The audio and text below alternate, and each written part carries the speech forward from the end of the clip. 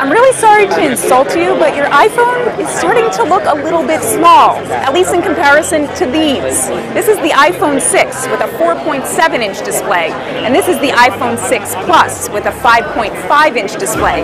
Yes, these have got bigger screens, but there's lots more in them too, including new cameras and NFC chips to help you kill your wallet. Both the 6 and the 6 Plus have new Retina HD displays that display far more than you've been able to see on your iPhone 5 or 5S. Like a bigger Android phone, it's great for seeing more of web pages, and Apple's added a special landscape mode for the home screen with the 6 Plus. On both phones, you can move through web pages and emails with swipes on the side. But I really prefer the smaller version for my smaller hands. The 5.5 inch version looks like a small tablet.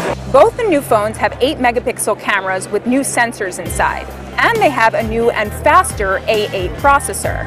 But the biggest game changer in here might be the NFC chip, which is trying to kill my humongous wallet. Called Apple Pay, you'll be able to register your credit card or bank account with Apple, and you'll be able to pay in stores by just tapping the phone and holding down the Touch ID fingerprint sensor. Apple's worked with lots of stores, including Starbucks, Subway, and some others.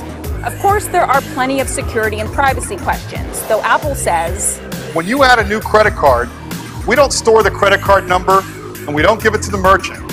The 6 starts at $199 and the 6 Plus starts at $299. Both will be available for order this coming Friday and on sale in stores the following Friday. Stay tuned for our full review.